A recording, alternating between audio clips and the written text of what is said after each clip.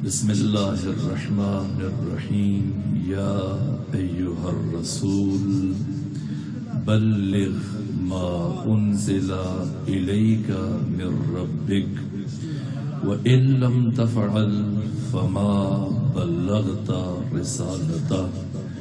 والله يعصمك من الناس. إن الله لا يهدي القوم الكافرين أكملت لكم دينكم وأتممت عليكم نعمتي ورزيت لكم الإسلام دينا صلوات میری خاندان فاطمہ۔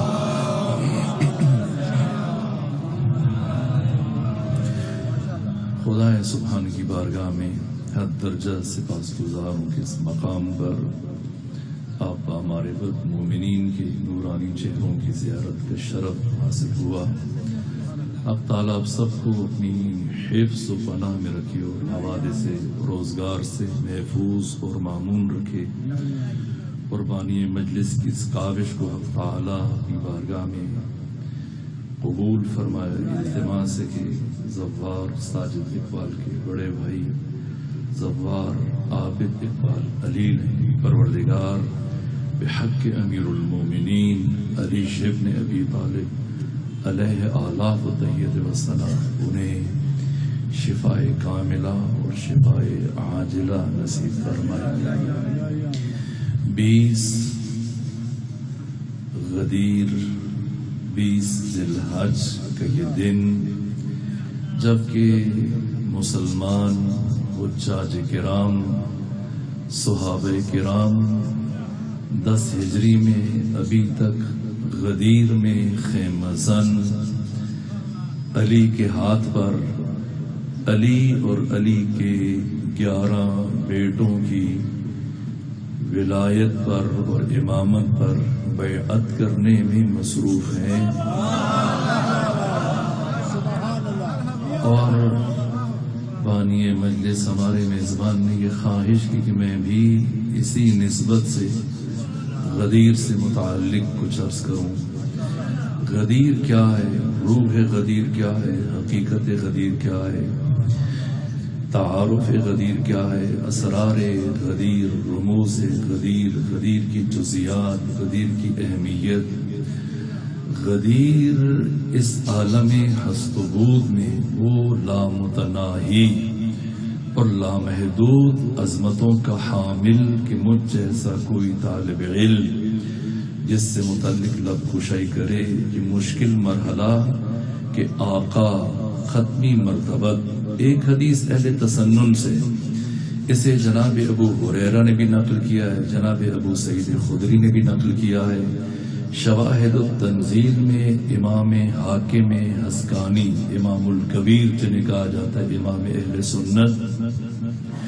انہوں نے بھی حدیث ذکر کیے کہ من ساما یوم الغدیر، کہ جو غدیر کے دن روزہ رکھے، تو اللہ کے نزدیک یہ ایسا ہے کہ ساما ستین شہرا، جس نے ساٹھ مہینے مسلسل روزہ رکھا لیکن جو روایت ابو جعفر یعقوب گلینی نے نقل کی ہے، اس کے مطابق اگر کوئی روز غدیر اٹھارہ ذی الحج روزہ رکھتا ہے تو اس کا مقام اور اس کا شرف اللہ کے نزدیک اجر و ثواب وہ قیامت تک اگر بلا ناغا ہر دن روزہ رکھے، اتنی طولانی زندگی کہ آغاز سے لے کے انجام تک، ازل سے لے کے ابد تک، صبح قیامت تک، پہ ہم مسلسل بال بلا ناغا، بلا وقفہ روزہ رکھتا رہے تو ان سارے روزوں کا ثواب کم ہے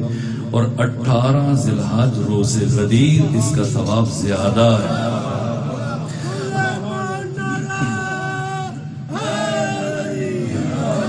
اس لیے سمجھنا ہے کہ اس شرف کا راز کیا ہے، اس عزت و احترام کا راز کیا ہے۔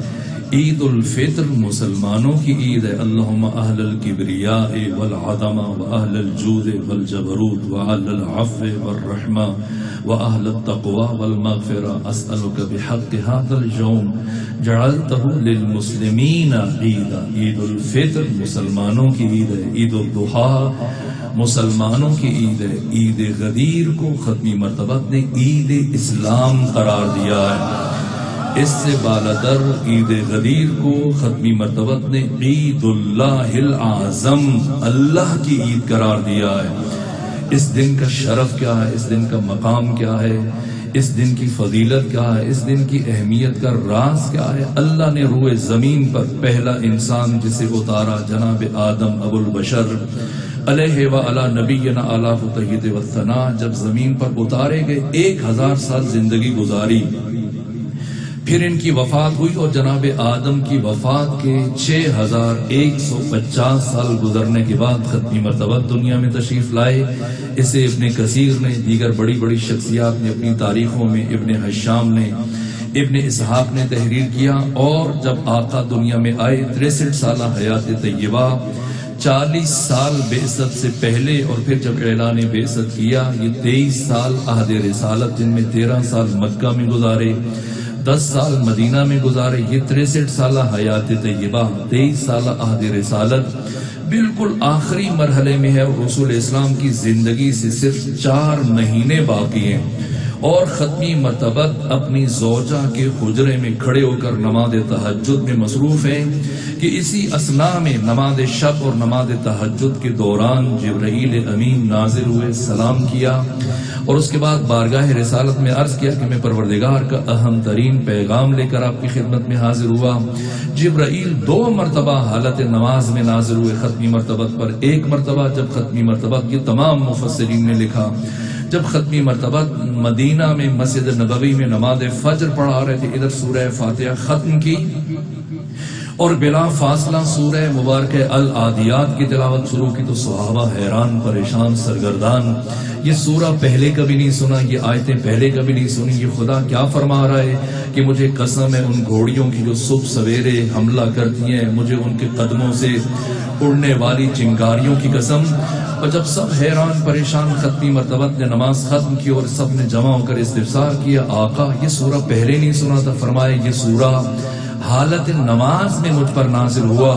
ادھر پیمبر صحابہ کرام کے ہمراہ مل کر مسجد نبوی سے باہر آئے اور سامنے سے علی ابن ابی طالب اپنے سپاہیوں کے ساتھ جنگ سے لوٹ کر واپس آ رہے تھے۔ یہ پہلی مرتبہ اور دوسری مرتبہ حالت نماز میں جو وہی آئی، یہ وہ نماز تحجد ہے دس ہجری یکم زیکت کی پہلی شب تو ختمی مرتبت نے فرمایا، جبرائیل بتاؤ کیا پیغام ہے؟ جبرائیل نے عرض کیا کہ حکم خدا یہ کہ یہ پیغام آپ کو تنہائی میں دیا جائے، خلوت میں دیا جائے۔ آقا اپنے گھر کے حجرے سے اٹھے سہن میں تشریف لائے، جیسے ہی سہن میں پہنچے، جبرائیل نے یہ آیت منتقل کی کہ خدا فرما رہا یا ایوہ الرسول، بلغ ما انزل الیکا من ربک۔ وہ پروردگار جو ختمی مرتبت کو کبھی تاہا کہتا ہے، کبھی یاسین کہتا ہے، کبھی مزمل کہتا ہے، کبھی مدثر کہتا ہے، کبھی فرماتا ہے کمبل کے اڑنے والے، کبھی فرماتا ہے کملی کے اڑنے والے، کبھی فرماتے حسین زلفے والے زلفوں والے، کبھی فرماتے کہ اتنی عبادت نہ کرو کہ تیرے پاؤں میں ورم آ جائیں۔ لیکن آج نہ تاہا کہا، نہ یاسین کہا، نہ مدمل کہا، نہ مدثر کہا چار مرتبہ اس میں محمد قرآن میں استعمال ہوا ہے ایک مرتبہ اس میں احمد قرآن مجید میں استعمال ہوا۔ نہ نام سے یاد کیا، نہ لقب سے یاد کیا، منصب سے یاد کیا، عہدے سے یاد کیا۔ اور پروردگار یہ بھی فرما سکتا تھا، یا ایوہ النبی نہ کیا فرمایا؟ یا ایوہ الرسول اس لیے کہ نبی اور رسول میں فرق یہ کہ نبی پر بھی وہی نازل ہوتی ہے، رسول پر بھی وہی نازل ہوتی ہے۔ لیکن نبی پر آگے ابلاغ کرنا، دوسروں تک اس پیغام کو پہنچانا واجب نہیں ہوتا، لیکن رسول پر اس پیغام کو پہنچانا واجب ہوتا ہے۔ اس لیے فرمایا، یا ایوہ الرسول بلگ ما انزل الیکا من ربک۔ نازل، جو آپ پر نازل کیا گیا، یہ پیغام اس سے پہلے شب میرات جو پیغام آپ کو منتقل کیا گیا بلگ اس کی تبلیغ کا وقت آ گیا، اسے پہنچانے کا وقت آ گیا۔ یا ایوہ الرسول، بلغ ما انزل الیکا من ربک اور سنے وَإِلَّمْ تَفْعَلْ، اگر یہ کام نہ کیا، فما بلغتا رسالتا، تو آپ نے اپنی رسالت کا کوئی بھی کام انجام نہیں دیا۔ یعنی تیئیس سالوں میں جو آپ نے پتھر کھائے لو لوہان کی، ہوئے آپ نے تراسی جنگیں لڑی جن میں سے تیئیس جنگوں میں بنف سے نفیس خود شرکت کی، زخمی ہوئے، ہجرت کی، توہین برداشت کی، گزاخیاں برداشت کی، سب کچھ دین پہنچایا تہارت سے لے کر دیات تک، چھپن فک کی کتابیں جن میں لاکھوں احکام ہیں۔ یہ سارے کے سارے ختمی مرتبت نے تعلیم دیے سب کچھ کیا، لیکن اگر یہ ایک کام، یہ ایک کام نہ کیا اس ایک بات کو نہ پہنچایا وَإِلَّمْ تَفْعَلْ فَمَا بَلَّغْتَ رِسَالَتَا تو آپ نے اپنی رسالت کا کوئی بھی کام انجام نہ دیا۔ اللہ نے دین کے لاکھوں مسائل میں سے کسی ایک مسئلے کی تبلیغ کو دوسرے عمل کی تبلیغ پر موقوف نہیں رکھا، لیکن جہاں پر ختمی مرتبت کی ساری تیئیس سالہ عہد تبلیغ کو اس ایک عمر کی تبلیغ پر موقوف قرار دے دیا کہ اس ایک بات کو پہنچائیں، یہ ایک کام انجام دیں۔ اگر آپ نے یہ ایک کام نہ کیا، تو گویا آپ نے کچھ نہ کیا۔ بالفاظ دیگر، آپ کا اس کائنات میں نبی بن کر آنا نہ آنے کے برابر ہو جائے گا۔ اگر یہ ایک کام نہ کیا، اتنا تحریر آمیز لہجہ پروردگار نے بسم اللہ سے لے کے وناس تک قرآن مجید کی چھ ہزار دو سو چھتیس آیتوں میں کہیں اختیار نہ کیا جو اس آیت میں اختیار کیا۔ اتنا تحدید آمیز لہجہ کے ختمی مرتبت کی ساری رسالت کو ایک امر کی تبلیغ پر موقوف قرار دیا اور فرمایا کہ یہ کام کریں، اگر نہ کیا تو گویا آپ نبی نہیں۔ کیا خیال ہے امت کا؟ کیا خیال ہے جمہور کا؟ کیا خیال ہے امت مسلمہ کا؟ کہ اگر امام الانبیاء سید الرسول ختمی مرتبت جن کی نبوت اور رسالت پر ایمان لانے کے نتیجے میں ایک کم ایک لاکھ چوبیس ہزار نبیوں کو نبوت ملی، تین سو بارہ رسولوں کو رسالت ملی، جس ہستی پر ایمان لانے کے نتیجے میں نبیوں کو نبوت ملی، باقی رسولوں کو رسالت ملی۔ آج اس نبی کی اپنی نبوت، آج اس رسول کی اپنی رسالت محرز خطر میں ہے۔ اور تمام رسالت کو اللہ نے ایک امر کی تبلیغ پر موقوف قرار دیا کہ یہ بات یہ بات پہنچائیں، یہ کام کریں۔ اگر نہ کیا تو گویا آپ نبی نہیں، تو کیا خیال ہے امت کا؟ اگر نبی سارے مسائل پہنچائیں، لاکھوں امور کی تبلیغ کریں، لیکن اس ایک بات کو چھوڑ دیں تو وہ نبی نہیں رہتا، تو اس نبی کو ماننے والی امت باقی سارے کام کرے اور اس ایک کام کو نظر انداز کر دے۔ یا علی کی دشمنی پر نظر آئے اور علی کی مخالفت پر کمر بستہ ہو جائے اور علی کی ولایت کا انکار کر دے۔ اگر نبی اس بات کو نہ پہنچائے تو وہ نبی نہیں رہتا، تو امت علی کے ساتھ دشمنی کر کے اور اس دعوے کو، اس اعلان کو رد کر کے مسلمان کیسے رہ سکتی ہے؟ اس لیے ختمی مرتبت نے جیسے یہ آیت نازل ہوئی، ختمی مرتبت نے آرام کرنا چھوڑ دیا۔ کیا لب و لہجہ ہے واقعا کیا الفاظ ہیں؟ یا ایوہ الرسول، بلغ ما انزل الیک من ربک وَإِن لَمْ تَفْعَلْ فَمَا بَلَّغْتَ رِسَالَتَا۔ اور اے امام الانبیاء، سید الرسول، ختمی مرتبت سنے پریشان نہیں ہونا ہے، ڈرنا نہیں ہے، گھبرانا نہیں ہے۔ آپ یہ اعلان کریں جو میں کہہ رہا ہوں، اسے انجام دے اگر شر اٹھا تو ہم وعدہ کرتے ہیں، ہم آپ کو لوگوں کی شر سے بچائیں گے۔ واللہ یاسمک من الناس، اللہ آپ کو لوگوں کی شر سے بچائے گا۔ میں دست ادب جوڑ کر بارگاہ اہلیت میں یہ استفسار کرتا ہوں، عرض کرتا ہوں، پروردگار اپنی توحید کے اعلان کی دفعہ ایسی ضمانت جاری نہیں فرمائی۔ محمد مصطفیٰ کی نبوت اور رسالت کے اعلان کی دفعہ ایسی ضمانت جاری نہیں فرمائی، جبکہ مشکل مرحلہ تھا جب ختمی مرتبت بتوں کی مخالفت کر رہے تھے، لوگوں کو خدا وحدہ لا شریک کی طرف دعوت دے رہے تھے۔ چاروں طرف سے پتھر برس رہے تھے، ختمی مرتبت کو لو لوہان کیا جا رہا تھا۔ حالت نماز میں عبداللہ بن زبری جیسے ناپاک افراد ختمی مرتبت پر اوجریاں پھینک رہے تھے۔ ایسے مرحلے میں نہیں فرمایا کہ میری توحید کا اعلان کریں، اگر شر اٹھا تو ہم بچائیں گے، یا اپنی نبوت اور رسالت کا اعلان کریں۔ اگر شر اٹھا تو ہم بچائیں گے، لیکن جیسی علی اور علی کے بیٹوں کی امامت اور ولایت کے اعلان کی باری آئی، کیوں فرمایا جا رہا ہے کہ یہ اعلان کریں اور نہ ڈریں؟ میں خدا وعدہ کرتا ہوں کہ اگر شر اٹھا تو ہم بچائیں گے۔ وجہ یہ ہے کہ جب توحید اور نبوت کی دفعہ شر اٹھا تھا تو بچانے والے علی تھے۔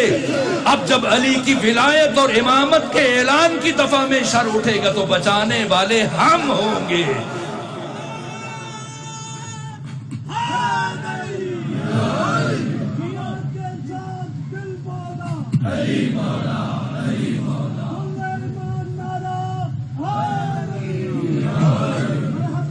واللہ یعصمک من الناس۔ اور اس کے بعد کیا فرمایا؟ ان اللہ لا یهدی القوم الکافرین۔ اے میرے مصطفیٰ، آپ یہ اعلان کریں، لیکن یہ ذہن میں رکھیں اور یہ یاد رکھیں کہ اللہ کبھی بھی کافروں کی ہدایت نہیں کرتا۔ یہ کافر کون ہے لوگ سمجھتے ہیں کہ صرف توحید کا انکار کرنے والا کافر بن جاتا ہے۔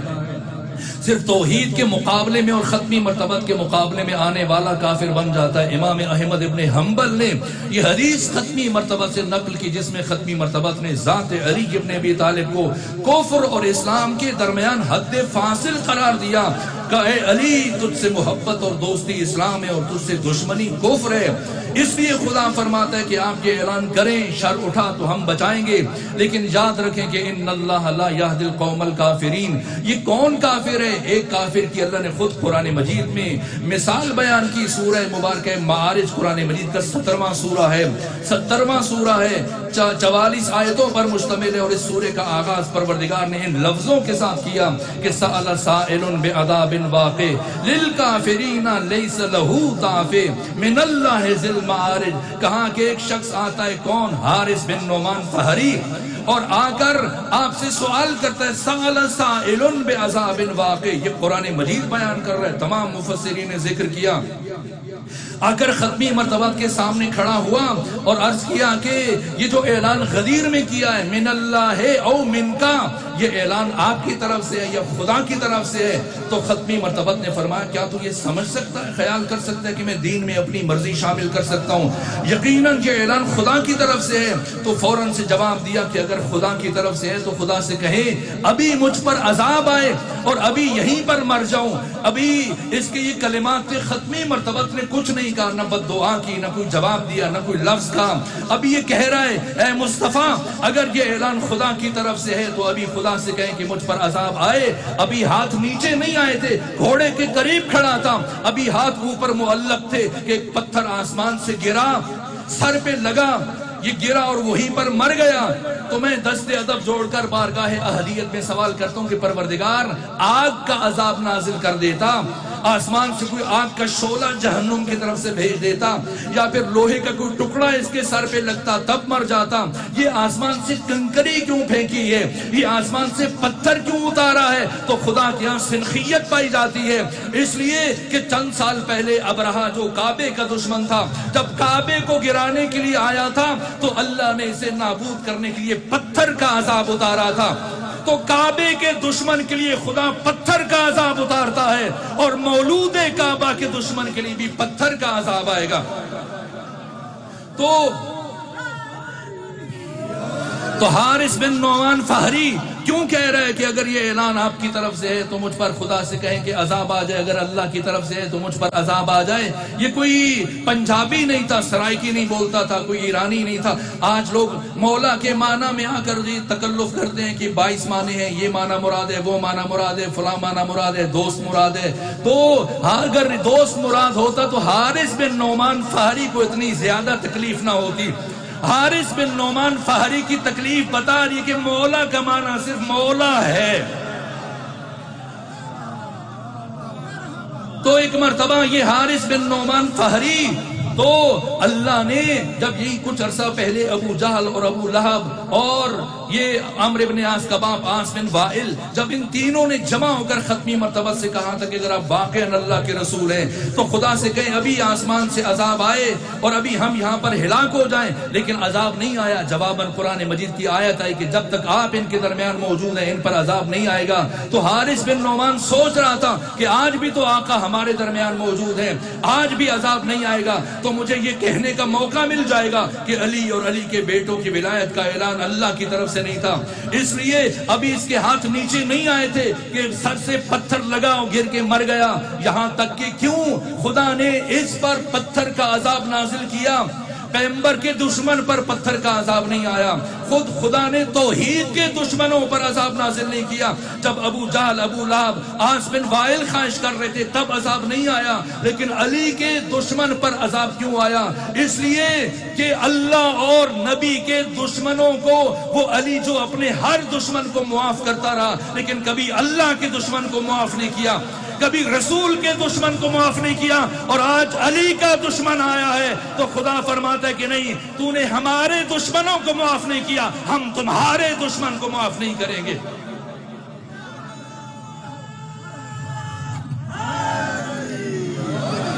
یہاں تک کہ جیسے یہ آیات نازل ہوئی اور پھر سورہ مبارک ہود کی آیت نمبر ایک سو بارہ نازل ہوئی فستقم کما امرتا اے محمد مصطفیٰ، اب جو وہی آپ تک پہنچی ہے، جو پیغام پہنچا ہے، آپ نے اس طرح سے استقامت دکھانی ہے جیسے استقامت دکھانے کا حق ہے۔ یہاں تک کہ ختمی مرتبہ اکثر کہا کرتے تھے کہ شیبتنی سورت الہود۔ مجھے سورہ ہود نے بوڑھا کر دیا۔ ابو ذر نے پوچھا، سورہ ہود کی کون سی بات نے؟ کہا جو خدا نے یہ فرمایا کہ فستقم کما امرتا ایسے سے استقامت دکھانی ہے غدیر کا اعلان سادہ نہیں ہے۔ غدیر کے اعلان میں کیا دقتیں ہیں کہ خدا بار بار ضمانتیں جاری فرما رہے اور بار بار تاکید کر رہا ہے۔ اور یہاں تک کہ جیسی آیت نازل ہوئی، ختمی مرتبت نے آرام کرنا چھوڑ دیا۔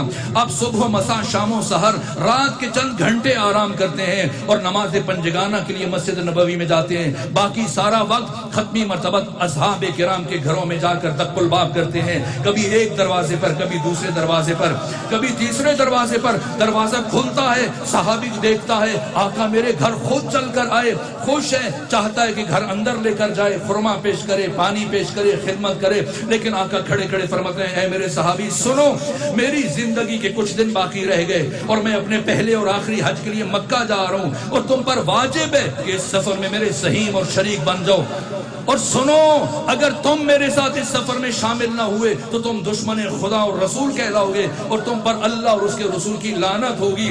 یہاں تک کہ پیمبر ایک صحابی کے گھر سے نکل کر دوسرے صحابی کے گھر میں، وہاں سے تیسرے، چوتھے، پانچویں صحابی کے گھر میں، پچیس دنوں میں پیغمبر نے مدینے کا ایک گھر بھی ایسا نہیں چھوڑا جہاں تک یہ پیغام نہ پہنچایا ہو، جس کا نتیجہ یہ ہوا کہ پچیس بروز ہفتہ جب ختمی مرتبت نے مدینہ چھوڑا تو تمام مورخین نے تبری نے لکھا ہے، مسعودی نے لکھا ہے، یعقوبی نے لکھا ہے۔ کم از کم اسی ہزار افراد ختمی مرتبت کے ساتھ اس کاروان میں شامل تھے، جن میں بچے تھے، بوڑھے تھے، مرد، خواتین۔ یہاں تک کہ پیمبر کی دو بیویوں کا انتقال ہو چکا تھا، نو زندہ تھی، نو کی نو پیمبر کے ساتھ اس سفر میں شامل ہیں۔ ام ایمن شامل ہیں، سیدہ زارہ صدیق کبرا آپ کے ساتھ شامل ہیں۔ حسن حسین، زینب کبرا زینب سغرا سب مخدرات آپ کے ہمراہ شامل ہیں۔ اور جب پیمبر گئے، اب راستہ دیکھیں، راستے میں جتنے شہر آتے ہیں، جتنے قریے، جتنی آبادیاں، منزل متاشا منزل سیرف، منزل منصرف، منزل قدجد منزل ارق الزبی، منزل مر الزہران، منزل اسایہ، منزل اببا جہاں جہاں سے پیغمبر گزر رہے ہیں، ہر بستی اور دیہات کے باہر کھڑے ہو کر کاروان کو روکتے ہیں، انتظار کرواتے ہیں اور خود اس قریے کے اندر جا کر وہی کام کرتے ہیں جو مدینے میں کیا۔ اور راستے میں سے بائیس سے تیئیس ہزار افراد کو پیغمبر نے شامل کیا ہے۔ اپنی والدہ جناب آمنہ کے مزار پر۔ اس سے پہلے جب بھی آتے تھے ابوا میں، پورا دن رکا کرتے تھے، لیکن آج پہلی مرتبہ چند لمحوں کے لیے رکے دعائیں خیر کی۔ اور اس کے بعد اندر چلے گئے، بستی میں چلے گئے۔ اور یوں بائیس سے تیئیس ہزار افراد کو اپنے ہمراہ شامل کیا۔ اور تیسری طرف تیسری جانب علی جبن ابی طالب مدینہ میں موجود نہیں تھے۔ یمن بھیجا گیا تھا آپ کو۔ رسول اسلام نے بھیجا تھا مال خدا، مال امام، خمس و زکات کی جمابری کے لیے۔ لیکن تیز رفتار گھوڑا دے کر قاصد کو روانہ کیا کہ جاؤ اور علی کو پیغام دو کہ جتنا جلد ممکن ہو سکے فوراً مکہ کی طرف رخ کریں۔ اور ان سے کہیں کہ حج کی نیت باندھ لیں۔ میں نے ان کا احرام اٹھا لیا ہے۔ اس طرح سے اور کہا کہ علی سے کہنا، اکیلے نہ آئے۔ جتنے افراد کو اپنے ہمراہ لے کر آ سکتے ہیں لے کر آئیے۔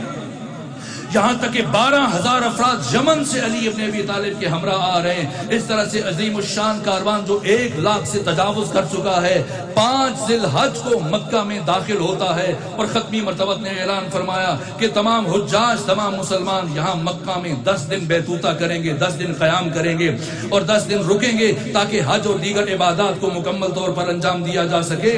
دس دن قیام کے بعد پندرہ ذل حج کی شام میں ختمی مرتبت نے اعلان کروایا ابو ذر غفاری کو منتخب کیا اور فرمایا اعلان کرو کہ کل صبح ہم یہاں سے خاص مقام کے لیے عازم ہیں اور سب پر واجب ہے جو جو مکہ میں مسلمان موجود ہے سب پر واجب ہے کہ سفر میں ہمارے سہیم اور شریک بن جائیں۔ اور اگر کوئی ہمارے ساتھ نہیں جائے گا تو وہ دشمن خدا اور رسول قرار پائے گا۔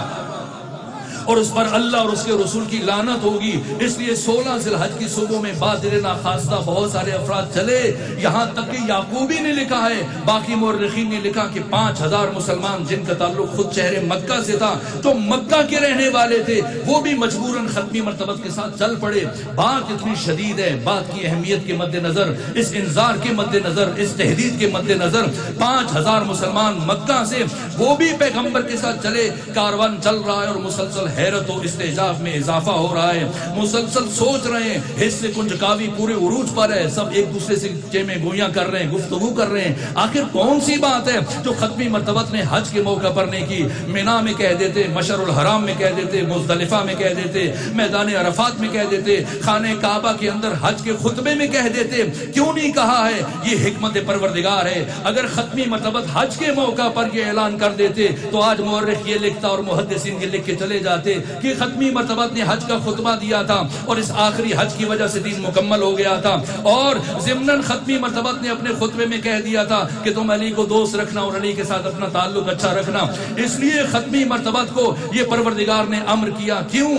اس لیے یہ غدیر کی انفرادیت ہے۔ اس لیے باقر العلوم امام محمد باقر علیہ السلام فرماتے ہیں کہ تاریخ بشر میں، تاریخ آدم میں، تاریخ عالم میں، تاریخ خاتم میں، تاریخ انسانیت میں کوئی اعلان مثل غدیر نہ ہوا ہے نہ قیامت تک ہو سکے گا۔ یہ غدیر کی انفرادیتیں ہیں کہ ختمی مرتبہ چاروں طرف حد نگاہ تک سر ہی سر نظر آ رہے ہیں۔ کسی جنگ میں، کسی دوسرے موقع پر ایک ساتھ اتنے مسلمان کبھی اکٹھے نہیں ہوئے۔ سب سے زیادہ تعداد جو اکٹھی ہوئی اب سے پہلے، وہ جنگ ہنین کے موقع پر جب دس ہزار مسلمان اکٹھے تھے۔ اس کے علاوہ کوئی ایسی مثال نہیں ملتی۔ اور یہاں پر کم از کم ایک لاکھ پچیس ہزار مسلمان ختمی مرتبہ کے ہمدوش سفر کر رہے ہیں۔ یہاں تک کہ یہ عظیم الشان کاروان اٹھارہ ذی کی صبح میں میدان خم میں پہنچ پہنچا ہے۔ اس مقام کا نام خم ہے۔ خم کے اندر ایک بڑا تالاب ہے جو غدیر کہلاتا ہے، جو بارشوں کے موقع پہ اس میں کچھ پانی جمع ہو جاتا ہے اور پھر بعد میں وہ پانی خشک ہو جاتا ہے، ختم ہو جاتا ہے۔ اس تالاب کا نام غدیر ہے۔ اور اگر آپ میں سے کوئی گیا ہے میدان خم میں غدیر کو دیکھنے کے لیے، اگر کسی کو زیارت شرف، کا شرف حاصل ہوا ہو، میں نے خود پڑھا ہے۔ حضرت امام محمد باقر علیہ السلام فرماتے ہیں، حتیٰ امام جعفر صادق علیہ السلام سے متعلق ابو بصیر نے بیان کیا کہ کیا شرف ہے اس مقام کا، کیا عزت ہے اس مقام کی، کیا منزلت ہے اس مقام کی کہ ہم امام صادق کے ہمراہ جب میدان خم میں پہنچے اور جیسے یہ تالاب کی جگہ آئی جیسی مقام غدیر میں داخل ہوئے، تو جناب امام صادق علیہ آلاف الطیت وسلہ نے اپنے پاؤں سے جوتے اتار دیے اور ہمیں بھی حکم دیا کہ اپنے پاؤں سے جوتے اتار دو۔ یہ مقام غدیر کا شرف ہے۔ کیا ہے غدیر؟ کیا ہوا غدیر میں؟ ایسے میں جیسی اس خاص مقام تک پہنچے ہیں۔ ختمی مرتبت نے اعلان فرمایا کہ جاؤ، اگر کوئی آگے نکل چکا ہے تو تیز رفتار گھوڑوں کو، سواروں کو دوڑاؤ۔ ان سے کہو، واپس پلٹ کر آئیں اور جو پیچھے رک گئے ہیں، سب کا انتظار کرو۔ حیا اللہ خیر العمل کی صدائیں گونجنے لگی چاروں طرف حیا اللہ خیر العمل کی آوازیں بلند ہو رہی ہیں۔ یہاں تک کہ سمٹ سمٹ کر یہ آواز سن کر لوگ جمع ہونا شروع ہوئے اور پھر جیسے افراد جمع ہونا شروع ہوئے، کچھ افراد نسبتاً متجسس تھے، جنہیں زیادہ تجسس تھا۔ عرض کیا، یا رسول اللہ، سب آ چکے ہیں، اعلان کریں۔ فرمایا، نہ، ایسے اعلان نہیں کیا جا سکتا۔ پہلے ممبر بناؤ۔ پہلے ممبر بناؤ تاکہ اعلان کیا جا سکے۔ قرآن مجید کی جتنی بھی آیات ہیں، نزول تدریجی کے اعتبار سے ایک مرتبہ نازل ہوئی۔ چند آیتیں جو دو مرتبہ نازل ہوئی، جن میں سے ایک سورہ مبارک فاتحہ ہے، جسے سب متانی کہا جاتا ہے۔ ایک مرتبہ مکہ میں نازل ہوئی، دوسری مرتبہ مدینہ میں نازل ہوئی۔ قرآن مجید کی کوئی آیت تین مرتبہ نازل نہیں ہوئی، لیکن یہ واحد آیت ہے، جس سے متعلق علامہ جلال الدین سیوتی صاحب تفسیر در المنصور متوفہ نو سو گیارہ ہجری، انہوں نے الاتقان میں تحریر کیا کہ قرآن مجید کی واحد آیت ہے جو تین مرتبہ نازل ہوئی یعنی ہرگز اللہ کو اس اعلان میں تاخیر کا وارہ نہیں ہے۔ اللہ یہ چاہتا ہے کہ جلد از جلد یہ پیغام پہنچ جانا چاہیے، یہ اعلان ہو جانا چاہیے۔ تیسری مرتبہ آیت نازل ہو رہی ہے، ختمی مرتبت نے فرمایا، جلدی کرو ممبر بناؤ۔ جیسی صحابہ کرام نے ممبر کی بات سنی، ایک مرتبہ صحراؤں میں پھیل گئے اور گھوم پھر کر کچھ وقت گزرنے کے بعد پلٹ کر آئے۔ عرض کیا، یا رسول اللہ، یہ صحرا ہے ریگستان ہے، حد نگاہ تک ریتی ریت پھیلی ہوئی ہے۔ نہ لکڑی ہے، نہ بڑی ہے، نہ کوئی درخت ہے، نہ کوئی اوزار ہے، نہ دیگر سامان ہے۔ ہم کیسے ممبر بنائیں؟ فرمایا، مجھے ممبر چاہیے۔ اس اعلان پر اللہ نے میری رسالت کو موقوف قرار دیا ہے ممبر بناؤ تاکہ میں سرخرو ہو سکوں، ممبر بناؤ تاکہ میں اپنا سب سے بڑا فریضہ ادا کر سکوں۔ یہاں تک کہ شم رسالت کے پروانے دوبارہ سہراؤں میں پھیل گئے۔ مسلسل تتبو تفوز چھان پھٹک کے بعد، ڈھونڈنے کے بعد، تلاش کرنے کے بعد کئی گھنٹے گزر گئے۔ اور جب پلٹ کر آئے تو سب نے اپنے ہاتھ کھڑے کر دیے اور اپنی بے بذاتی اور کم آئے گی۔ اور اپنی آجزی اور کا اعتراف کیا، یا رسول اللہ ہم ممبر نہیں بنا سکتے۔ کہا، مجھے ممبر چاہیے کہ یا رسول اللہ کیسے ممبر بنائیں؟ جہاں تو حد نگاہ تک ریت ہی ریت کھیت ہے نہ لکڑی ہے، نہ بڑھی ہے، نہ سامان ہے، جھاڑیاں ہیں، خاردار جھاڑیاں ہیں۔ کیسے ممبر بنائیں؟ اگر آپ کا یہاں پر اس مقام پر خطاب کا پہلے سے ارادہ تھا، تو ہمیں مدینہ میں بتاتے، ہم آپ کا ممبر اونٹوں پر بار کر کے لے آتے۔ یا پھر ہمیں مکہ میں بتا دیتے، جن دس دنوں میں ہم مکہ میں رہے، تو آپ کے لیے ایک نیا ممبر تیار کر کر لے آتے۔ اس سہرا میں، اس ریگستان میں، اس ویرانے میں، جہاں حد نگاہ تک ریتی ریت پھیلی ہوئی ہے، جہاں خاردار جھاڑیاں ہیں، ہم ممبر کہاں سے بنائیں؟ ختمی مرتبت نے پوچھا اچھا تو ممبر نہیں بنا سکتے؟ کہا، نہیں، ہم ممبر نہیں بنا سکتے۔ جب ختمی مرتبت نے ان کی زبان سے ان کے عز و ناتوانی کا اعتراف لیا، ان کی بے بذاتی اور کم مائیگی کا اعتراف لیا، کہا اچھا اگر تم نہیں بنا سکتے، تو پھر ایسا کرو، یہ جو تمہارے شتر ہیں، تمہارے اونٹ ہیں، ان کی پشت کے اوپر جو پالان ہیں، انہیں اتارو۔ ان پالانوں کو ان پالانوں کو اتارو انہیں اوپر نیچے رکھو۔ ممبر تیار ہو جائے گا۔ ابن خلدون جیسے متاثر ترین مورخ نے ان پالانوں کی تعداد تک ذکر کی ہے کہ ختمی مرتبت نے نو پالان اتروائے انہیں اوپر نیچے رکھا اور ممبر تیار ہوا۔ اس سے پہلے کہ میں مختصراً عرض کروں کہ ختمی مرتبت نے اس ممبر پر سوار ہو کر کیا فرمایا؟ میں دست ادب جوڑ کر روح رسول سے یہ سوال کرتا ہوں، آقا، آپ رحمت للعالمین ہیں، آپ سراپا رحمت ہیں، آپ مجسم رحمت ہیں، اللہ نے آپ کو ساری کائنات کے لیے رحمت بنا کے بھیجا ہے۔ آپ تو صحابہ کو تربیت فرمایا کرتے تھے، تاکید فرمایا کرتے تھے کہ میرے صحابہ، دوسروں کے لیے آسانیاں پیدا کرو، دوسروں کے لیے پرابلم کریٹر نہ بنو، ان کے لیے مشکلات پیدا نہ کرو۔ تو آخر کیا وجہ ہے کہ آپ نے اتنی دیر شم رسالت کے پروانوں کو پریشان رکھا؟ میں نے پڑھا ہے، اتنی گرمی تھی۔ ابھی آپ social media print media electronic media سے جڑے ہوئے آپ نے خود دیکھا ہوگا، اس سال کتنے افراد حج کے موقع پر مر گئے، کئی سو افراد جن کا تعلق خود پاکستان سے تھا۔ گرمی کی شدت برداشت نہ کر سکے۔ در حالی کہ آج اے سی چل رہے ہیں، پنکھے چل رہے ہیں، دیگر آسانیاں گھروں کے سروں کے اوپر چھت موجود ہے، لیکن اس سے سہرا میں اس ریگستان میں جہاں حد نگاہ تک ریت ہی ریت ہے، میں نے پڑھا گرمی کی اتنی شدت تھی کہ صحابہ کرام اپنی ابا کو کبھی اپنے سر کے اوپر رکھتے تھے تاکہ تمازت آفتاب سے خود کو بچا سکیں۔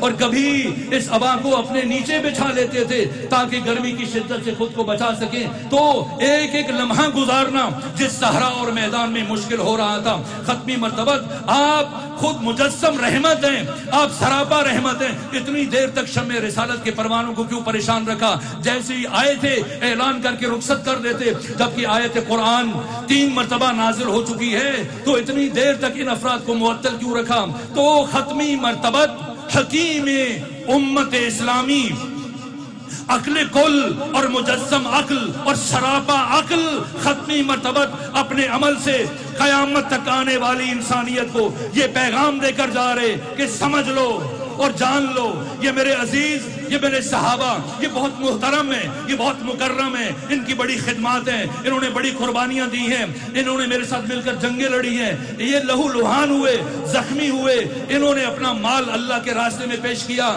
لیکن تمام تر احترام، تمام تر اکرام، تمام تر عزت و ابرو اور تمام تر خدمات کے باوجود آج یہاں اس مقام پر میں نے قیادت اور سیادت، امامت اور رہبری کا اعلان کرنا ہے۔ اور قیادت و سیادت اور اللہ کی خلافت کے لیے اور امامت اور ولایت کے لیے استعداد، صلاحیت، لیاقت اور قابلیت شرط ہے۔ یہ افراد اپنے تمام تر احترام کے باوجود، اپنی تمام تر خدمات کے باوجود اتنی صلاحیت نہیں رکھتے کہ میرے بغیر ایک ممبر بنا سکیں۔ جو افراد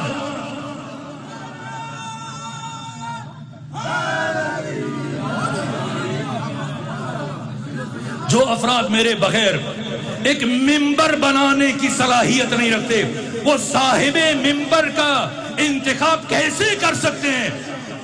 ممبر بھی میں بناؤں گا، صاحب ممبر کا اعلان بھی میں کروں گا۔